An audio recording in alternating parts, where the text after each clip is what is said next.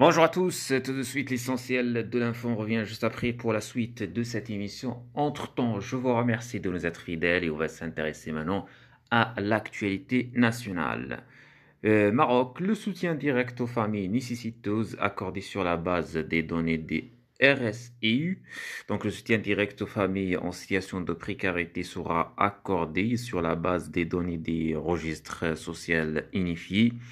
C'est ce qu'a assuré jeudi Araba, le ministre délégué chargé des relations avec le Parlement, porte-parole du gouvernement Mustafa Baitas, actuellement en expérimentation euh, dans la région de Rabasali-Kunitra le RSU permettra de fournir des données détaillées sur les euh, catégories vulnérables ainsi que de recenser les populations diminuées, a-t-il euh, précisé lors des points de presse à l'issue de la réunion hebdomadaire des conseils de gouvernement. Ainsi, les familles nécessiteuses qui bénéficieront du soutien direct seront identifiées, a-t-il indiqué.